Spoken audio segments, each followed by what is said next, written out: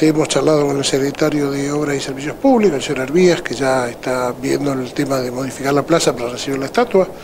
En principio yo estoy viajando a Buenos Aires porque la estatua nos la están entregando en la primera semana de diciembre. Calculamos va a estar acá a fines de ese mes y ya bueno, en febrero va a estar acá el escultor, que los últimos detalles los tiene que hacer en el lugar, una que esté fijada la estatua, los retoques propios de,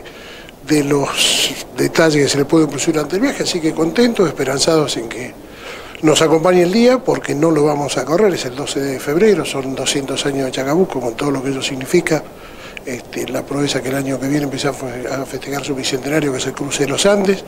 eh, esperamos invitar a autoridades del gobierno de Chile que nos acompañen, porque esta fue una batalla que dio la libertad de ese país,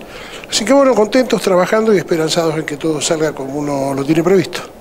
¿Qué características va a tener esta estatua en particular? La estatua es, una, es un escultor al que normalmente le compramos los bustos en la ciudad de Rosario, los estamos entregando en las escuelas,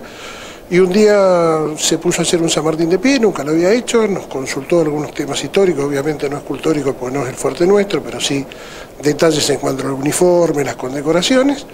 y finalmente decidió regalárnosla a la asociación para que estuviera en Ushuaia, y obviamente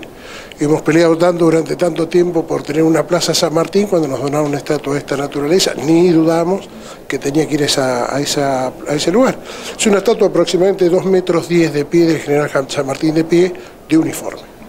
¿Y el material cuál es? Es cemento estatuario, cemento muy particular, la, parte inferior es maciza, la parte superior eh, eh, es metal recubierto por, por este, cemento estatuario y después la, espada viene aparte. La verdad que es un lindo complejo escultórico, hay que ver cómo queda en la plaza con las modificaciones que se le efectúen. Es una pieza importante para lo que tiene que ver en cuanto a la significación